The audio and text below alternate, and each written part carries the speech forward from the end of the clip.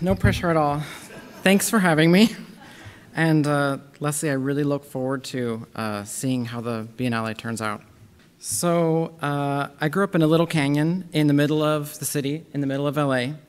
Uh, there was a waterfall up the street, and we used to catch uh, little frogs in the creek that ran all the way down the street towards Hollywood Boulevard.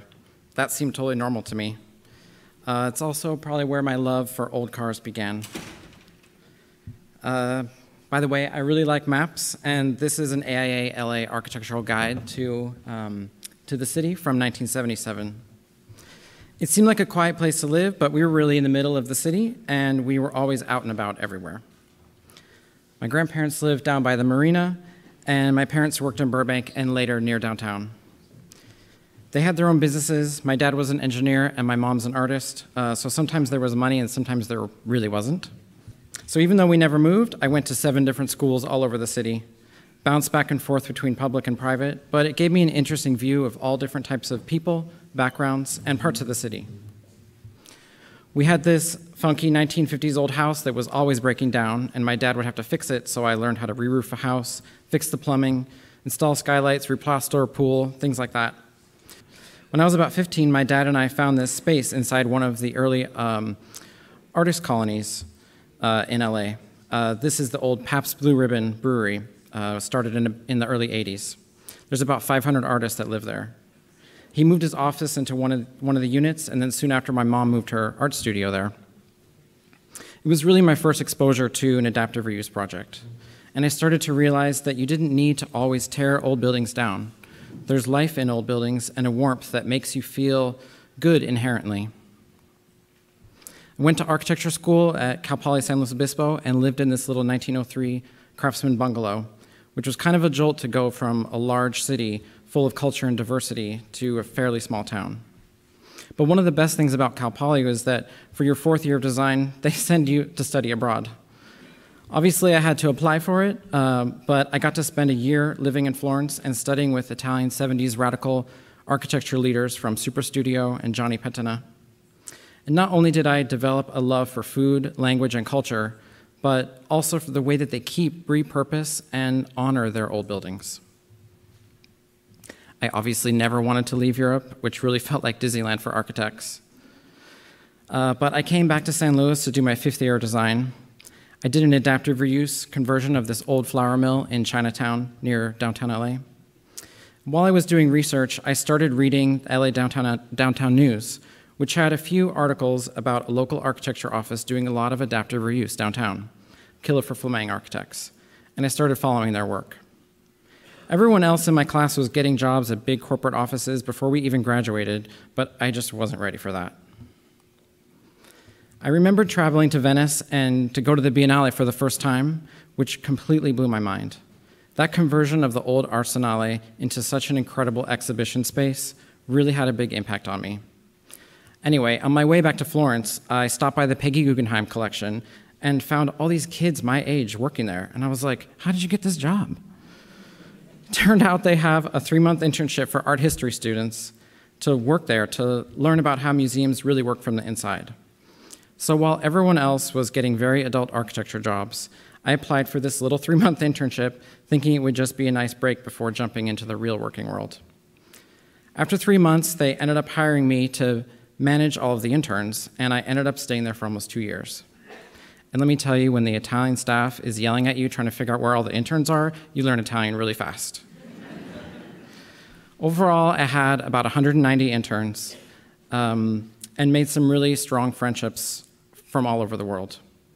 I almost always go back every year for the opening week of the Biennale, and uh, I always have an invite to the American party because it's at the Guggenheim. So hopefully I'll see you there. And although that sounds romantic, this is what it really looks like to work in Venice. So after a while, I began to wonder what was I doing there and decided I needed to come back and give architecture a try. I came back and got my own space at the brewery and also inherited my great grandparents' 1966 Oldsmobile Cutlass Supreme.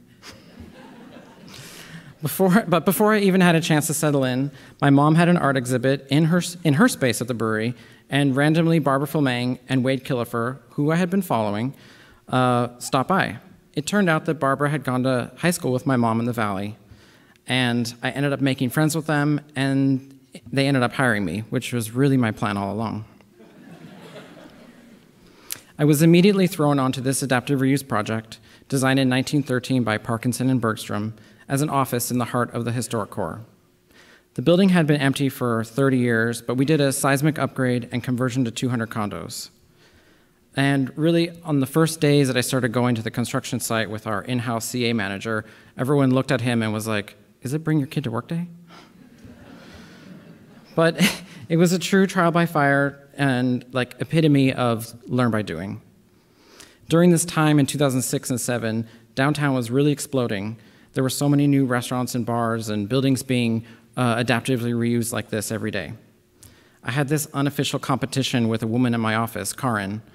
Uh, we would see each other in the office and be like, So, have you been to that new bar at Fifth and Spring yet? I'd be like, Yeah, I went last week. But then 2008 happened, and the adaptive reuse projects really all wrapped up, and no new work like this was coming in. We had major furloughs and layoffs in the office. I was going to buy a unit in this building, but then my uncle put my grandparents' house up for sale, and I bought that instead. It's a little 1940s wartime bungalow uh, with a 70s pop top and sunken living room in the back. The maps are all mine, but that 1985 console TV was theirs. I couldn't get rid of it. The neighborhood used to be an avocado orchard, and I have the most amazing 100 year old avocado tree covering the entire backyard.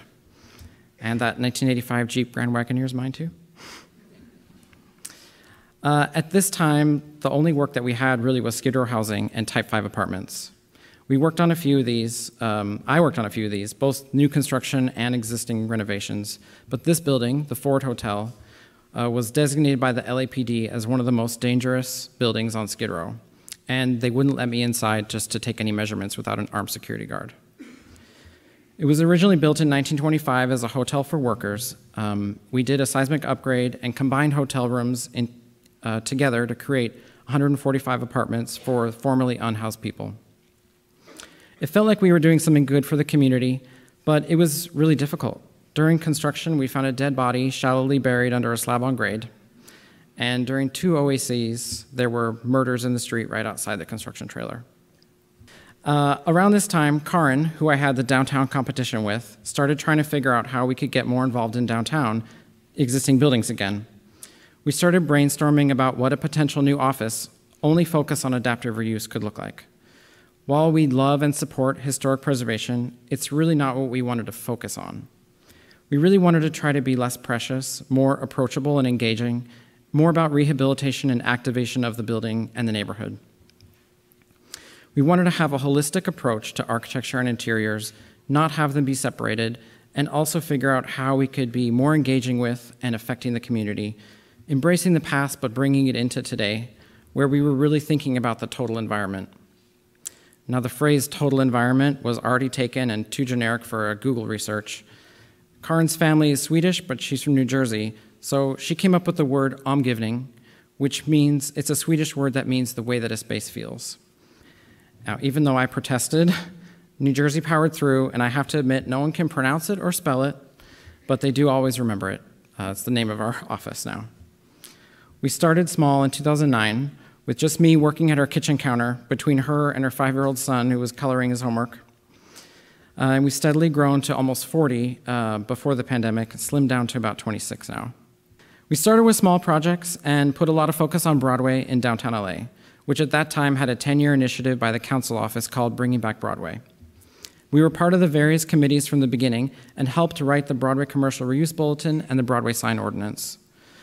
This building, the Sparkle Factory, is a cute little building from 1914, really a mom and pop jewelry company with a lot of complicated code violations, which we worked through, cleaned up the building, restored the facade, converted it from light industrial to creative office. We also helped them get a facade lighting grant through the Bringing Back Broadway initiative. This uh, is the Proper Hotel, which we just finished after just a short eight years. Originally designed in 1926 by Curlett and Beelman as the Commercial Club, a private men's club. You can see Julia Morgan's Herald Examiner building in the foreground across the street The club changed hands many times over the years and eventually be also became a YWCA and Job Corps training center. We converted the building to a 148 guest room hotel, added two floors and a rooftop pool, complied with the mandatory non-ductile concrete retrofit ordinance, nominated the building to become an LA Historic Cultural Monument, California Register and on the National Register, and got 20% historic tax credits from the National Park Service. We programmed, designed, and coordinated every inch of the building, salvaged and restored any historic fabric we found in the building, and worked with Kelly Wearstler Interiors on the finishes. Here's some detail shots of the restoration work that we did. We personally salvaged the original commercial club doorknobs, and I hid them at my desk for five years during construction until they were ready to be reinstalled. Here's some more interior detail shots of the typical rooms. This was an entry to the original grill room on the third floor, but every floor was completely different. We also found these original Babylonian plaster heads that had to be removed in order to do the seismic work. I also kept them at my desk for five years, and I don't know what happened when I wasn't looking but they have been safely reinstalled in the building in their original locations, now overlooking someone's hotel bed. Totally not creepy.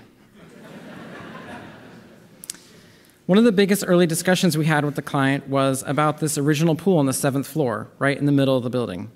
They thought that no one would want to use this pool, uh, especially if we were doing a rooftop pool. So they wanted to demo it to create more rooms. We convinced them that if we kept the pool, we could turn it into an amazing private suite so someone could have a full size pool in the living room of their hotel. it turned out pretty well, and we always joked that it would have to be someone like Beyonce that would rent a room like this. Well, guess what? During Grammy week, that's exactly who rented the room. Here's an overall shot of the new rooftop restaurant, bar, and pool, and the original blade sign that we rehabilitated.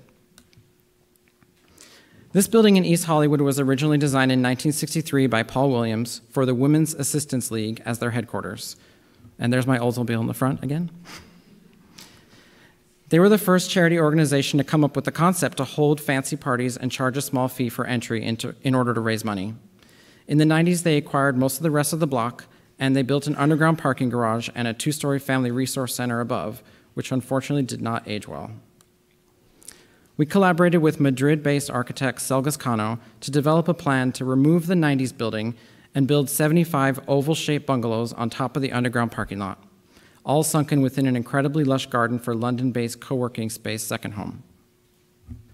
These spaces were originally used by the ladies for events, and now it's an incredible place to work both indoor and outdoor, really great for pandemic working we collaborated with them to develop ways to divide up historic spaces like this original main entry lobby with plexiglass walls in order to create three meeting rooms while still maintaining the whole original volume of the space.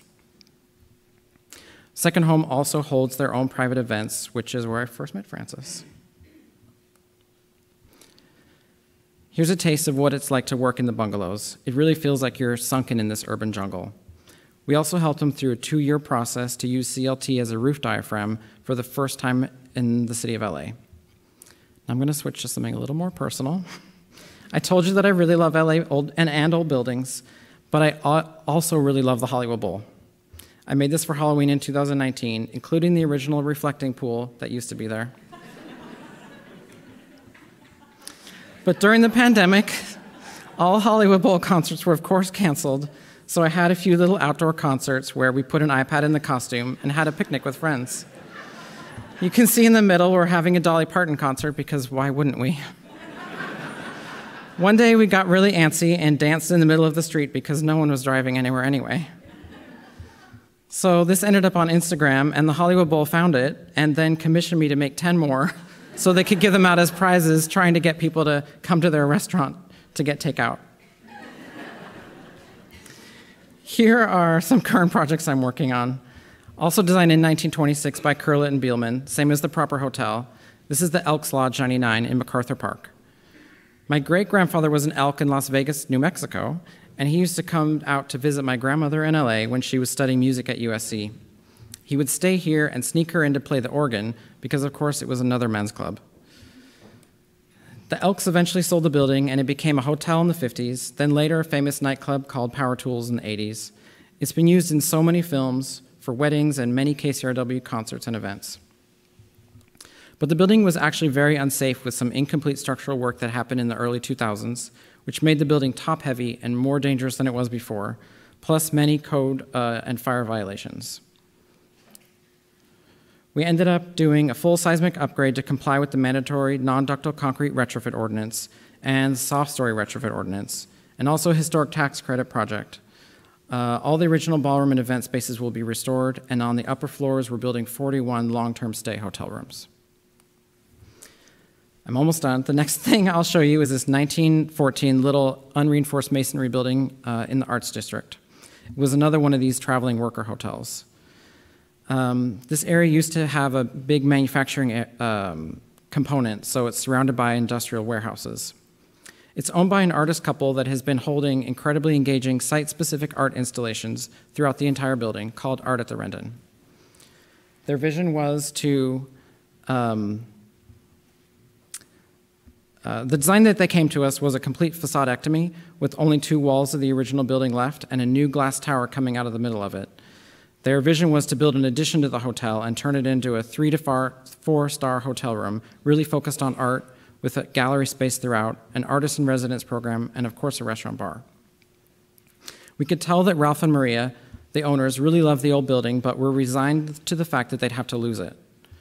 After we went to one of their installation events, which you see on the right, uh, they had a very different they had a different performance artist do whatever they want inside every hotel room and you could just wander throughout the whole building we just knew it didn't feel right to tear down the building we ended up proposing a new tower just in the tiny parking lot that's behind the building partially cantilevering over the existing building and partially cantilevering over the sidewalk in order to meet the guest room count that they needed we also proposed using more industrial materials like cmu for the exterior walls of the tower basically things that are more common in the Arts District warehouses that would make the building a little less precious and more ready for the building to act as an artist campus. Ralph and Maria and the neighborhood stakeholders all really love this idea, and we're submitting to Plan Check in a couple weeks. The last professional thing I'll show you is this. We've been trying, as I'm giving, to buy a building for over 10 years, but our eyes were always bigger than our budget. But we finally were able to buy this little 1959 building in Chinatown designed by Gilbert Leong, the first Chinese American to graduate from USC in architecture. After working for Paul Williams after World War II, he started his own practice and built a lot of the buildings in Chinatown. It has retail downstairs and six apartment upstairs. We're keeping the apartment tenants and converting the ground floor to our own version of a co working space. We're currently un under construction and acting as our own GC, which you can imagine is really fun. It's going to be called SUM, which is a Swedish word for seam, or the threading of things together. Since we're not back in the office full time, and we really don't intend to be, we took a deep look at what we really need, and we realized that what we really need is a gathering space, a place for us to meet with each other or with clients, uh, and with just a handful of desks that could be shared. We also realized that we don't really need this space for all 26 of us every day of the week, and that we could share our resources with other people we know in the building environment industry. So we're currently looking for tenants to share the space if anyone knows anyone in the design world.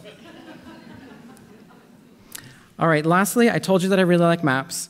I have an architect friend that was trying to make some custom tile with a tile company and got frustrated and decided to start her own tile company. She then taught me how to make tile, and now I'm very slowly making a tile map of every neighborhood in LA County. If, if and when I ever finish it, I think it's going to become an outdoor table, and based on the scale I accidentally chose, it's going to be about 10 feet square. okay, that's it. Thank you very much.